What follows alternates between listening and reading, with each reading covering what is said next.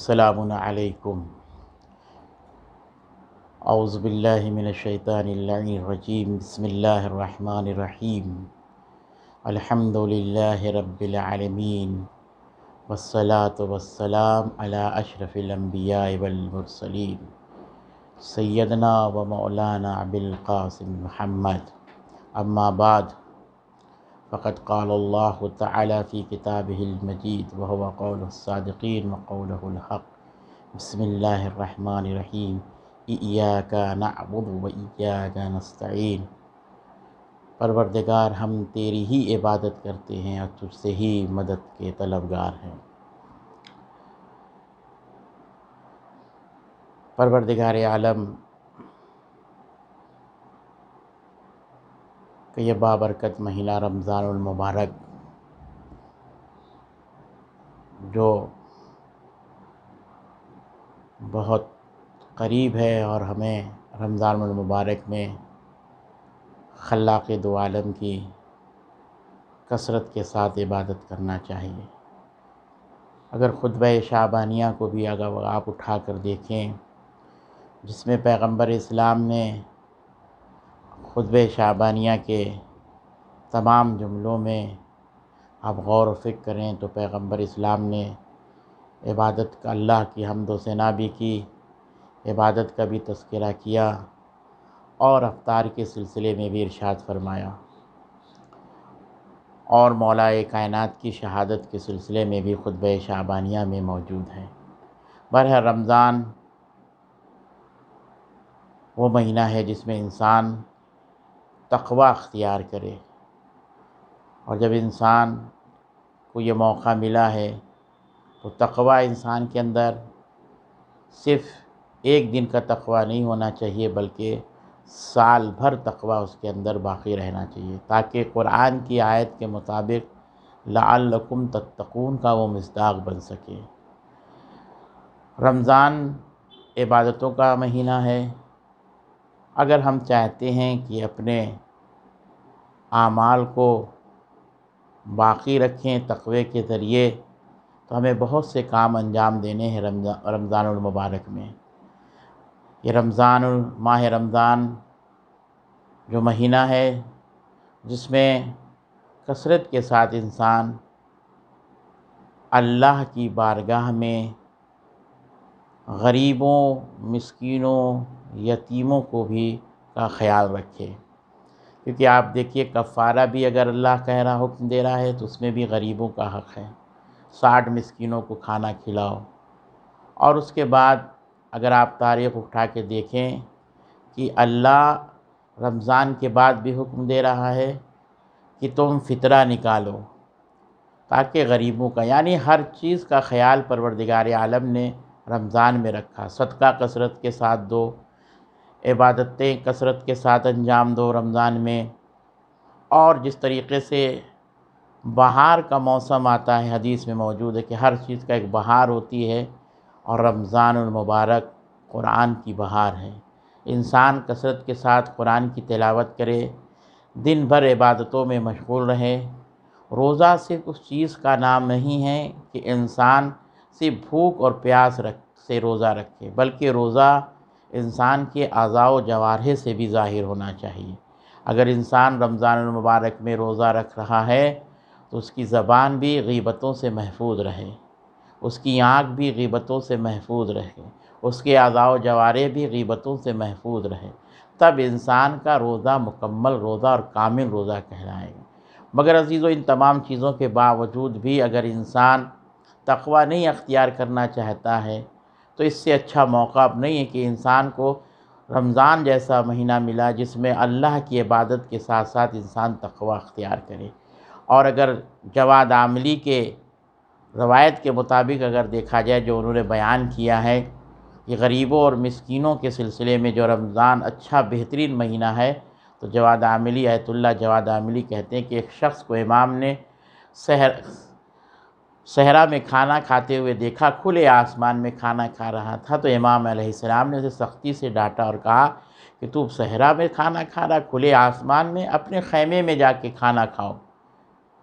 तो जवाद आमली कहते हैं कि इमाम मुझसे ये कह रहे थे कि तो जो तू खुले में खाना खा रहा है, लाजिम गज़ा जो अच्छे गज़ा तू खा रहा क्या तू परिंदों के को, के सामने जो खाना खा रहा है, तू परिंदे देख के ललचा रहे हैं?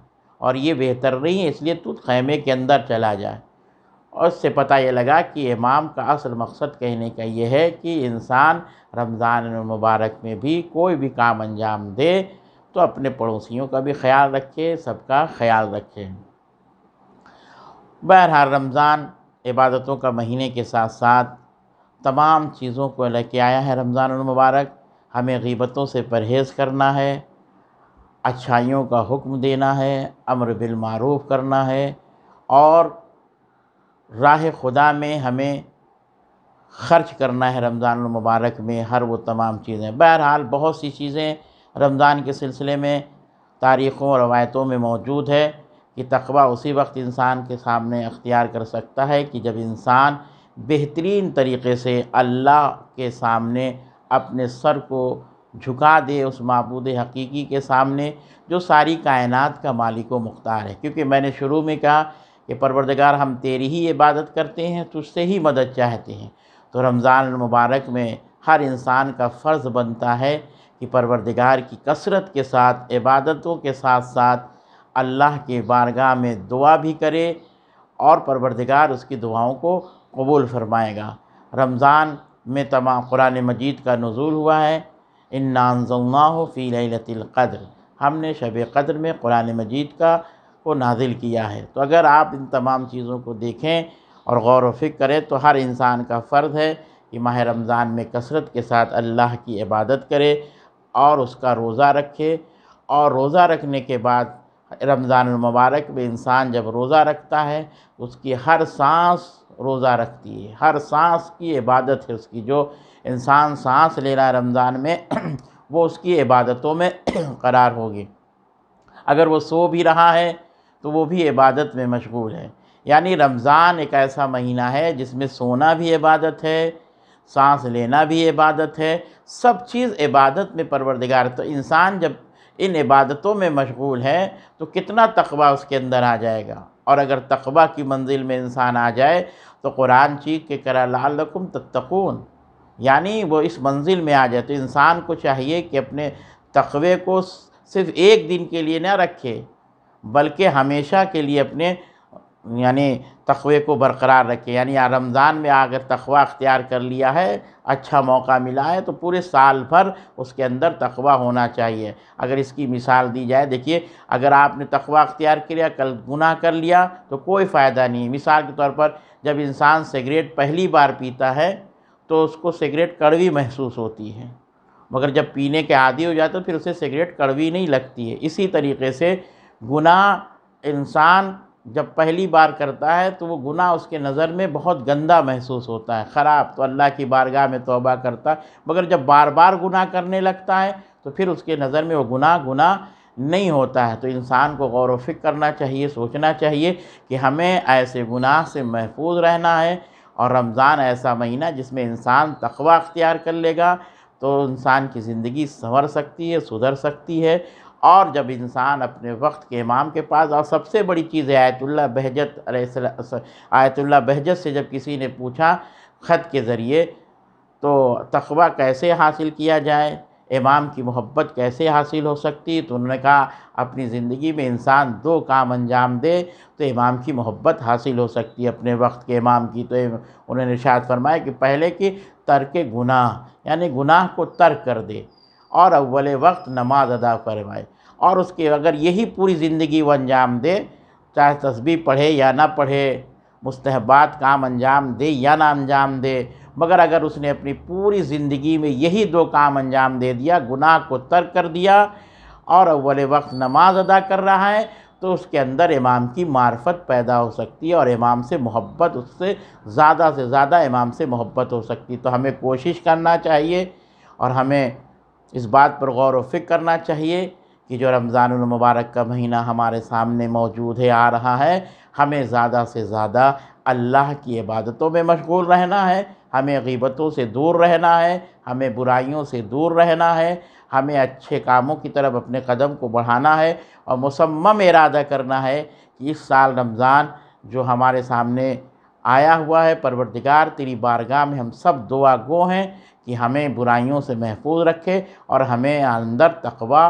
और परहेजगारी अता फरमाए और ये दुआ के साथ साथ इंसान ये भी मुसम्म इरादा करे कि हमने जो रमज़ान मुबारक में कुरान और तमाम चीज़ों की तिलावत करें, सिर्फ़ रमज़ान ही नहीं और अल्लाह की बारगाह में तो ये दुआ करना चाहिए कि परवरदिगार हमें ज़्यादा से ज़्यादा तोफ़ी दे कि हमने रमज़ान में कुरान जैसे अदा किया पढ़ा, उसी तरीके से हर महीने में भी कुरान पढ़ने की हमें तोफ़ी अदा फ़रमाएँ। वाखर दावान अलहमदिल्ला आलमीन।